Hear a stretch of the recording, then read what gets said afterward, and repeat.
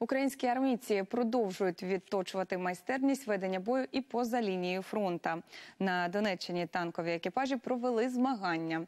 Було кілька етапів подолання смуги перешкод, практичні вправи з вогневої, тактичної та інженерної підготовки, а також завантаження та розвантаження боєприпасів, евакуація поранених і надання домедичної допомоги. Навчання максимально наближені до бойових умов, адже їхня головна мета покращити вишкіл армійців в умовах незнайомої місцевості, зазначають у штабі ООС. У змаганнях взяли участь екіпажі морської піхоти, окремої механізованої бригади Холодний Яр, мотопіхотної бригади імені кошового отамана Костя Гордієнка та бригади імені короля Данила. Нічого складного, пробігся, постріляв, кинув гранату.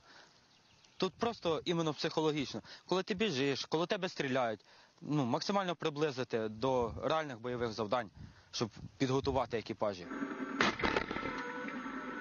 Є плюси, є мінуси, особливо коли працюють е, підрозділи різних бригад. Відповідно, е, один одного десь навчається, підказують.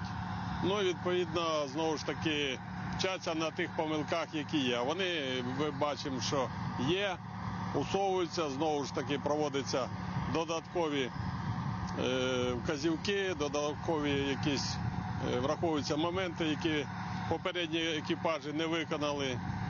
Е, В цілому, я думаю, що ми з завданням справилися.